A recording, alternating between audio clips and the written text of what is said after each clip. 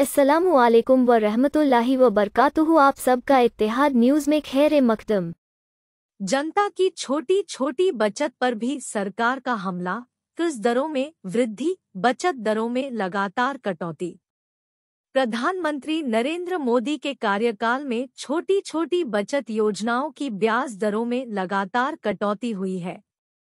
जबकि यह छोटी बचत योजनाएँ ही जनता की आर्थिक मजबूती का सहारा है। आम लोगों की छोटी बचत योजनाओं पर मिलने वाले ब्याज दरों में काफ़ी लंबे समय से कोई बढ़ोतरी नहीं की गई है। लोग अपनी आमदनी का कुछ हिस्सा भविष्य की जरूरतों के लिए बचाकर छोटी छोटी बचत योजनाओं के ज़रिए सरकार के पास जमा करते हैं, ताकि भविष्य में ज़रूरत पड़ने पर इसका इस्तेमाल कर सकें। प्रधानमंत्री मोदी के सत्ता में आने के बाद से इन बचत योजनाओं की ब्याज दरों में कई बार कटौती की गई है। वरिष्ठ नागरिक बचत खाता योजना, सीनियर सिटीजन सेविंग स्कीम, पर 2015 में 9.3 फ़ीसदी की दर से ब्याज मिलता था। 2015 के बाद से इस योजना की ब्याज दरों में छह बार कटौती की गई है। मौजूदा समय में इस योजना पर सात दशमलव चार फ़ीसदी की दर से ब्याज मिलता है। जबकि डाकघर बचत खाता योजना में दिसंबर 2011 के बाद से कोई बढ़ोतरी नहीं हुई है। साथ ही किसान विकास पत्र खाता योजना पर 2014 में आठ दशमलव सात फ़ीसदी की दर से ब्याज मिलता था, जिसको 2020 में घटाकर छह दशमलव नौ फ़ीसदी कर किया गया है। लोक भविष्य निधि खाता योजना पर 2013 में आठ दशमलव सात फ़ीसदी की दर से ब्याज मिलता था, जिसको 2020 में घटाकर सात दशमलव एक फ़ीसदी कर दिया गया है। जैसा कि नीचे चित्र में दिखाया गया है। राष्ट्रीय बचत आवर्ती जमा खाता योजना में पिछले आठ सालों में सात बार ब्याज दरों में कटौती की गई है। साल 2014 में इस बचत योजना पर आठ दशमलव चार फ़ीसदी की दर से ब्याज मिलता था, जिसको 2020 में घटाकर पाँच दशमलव आठ फ़ीसदी कर दिया गया है। राष्ट्रीय बचत प्रमाण पत्र योजना पर 2013 में आठ दशमलव पाँच फ़ीसदी की दर से ब्याज मिलता था, जिसको 2020 में घटाकर छह दशमलव आठ फ़ीसदी कर दिया गया है।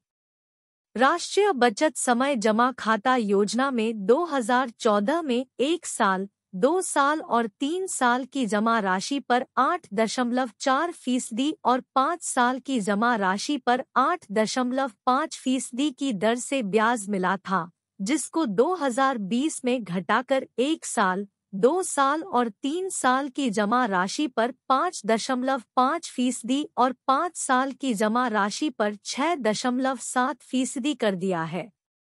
साथ ही राष्ट्रीय बचत मासिक आय खाता योजना पर 2016 में सात दशमलव आठ फ़ीसदी की दर से ब्याज दिया जाता था, जिसको पिछले पाँच सालों में छह बार कम किया गया है। मौजूदा समय में अब इस योजना पर छह दशमलव छह फ़ीसदी की दर से ब्याज मिलता है।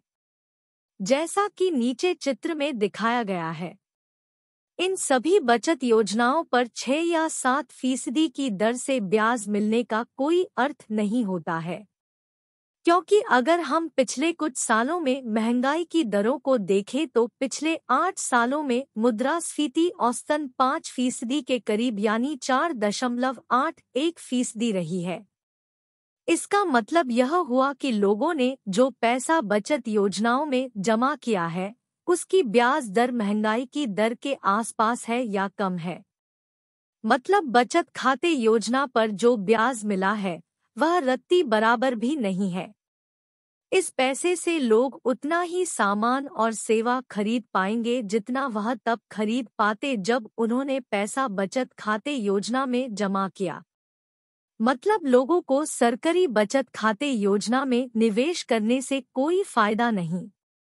जुलाई 2014 से जून 2015 के बीच मुद्रास्फीति पाँच दशमलव दो सात फ़ीसदी रही है। जबकि जुलाई 2021 से जून 2022 के बीच मुद्रास्फीति बढ़कर पाँच दशमलव नौ तीन फ़ीसदी हो गई है, जैसा कि नीचे चित्र में दिखाया गया है।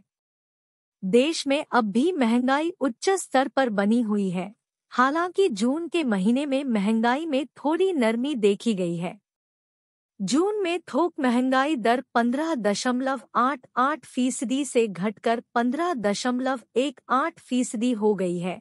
खुदरा महँगाई दर सात दशमलव शून्य चार फ़ीसदी से घटकर सात दशमलव शून्य एक फ़ीसदी हो गई है।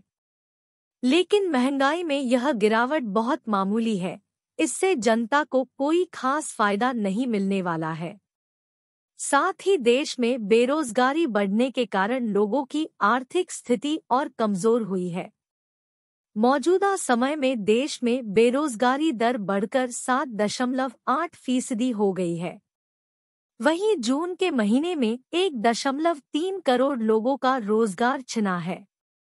महँगाई को कम करने के लिए रिज़र्व बैंक ऑफ़ इंडिया ने रेपो रेट में शून्य दशमलव नौ शून्य आधार अंक की बढ़ोतरी की थी। जिसके कारण बैंक के ब्याज दरों में बढ़ोतरी हुई है। ब्याज दरें बढ़ने से महँगाई से इतनी राहत नहीं मिली है, जितना कि कर्ज का अतिरिक्त बोझ जनता के कंधों पर बढ़ गया है। सरकार जनता को कर्जे की ऊँची ब्याज दरों और महँगाई से राहत देने के लिए इन छोटी बचत योजनाओं की ब्याज दरों में बढ़ोतरी करें।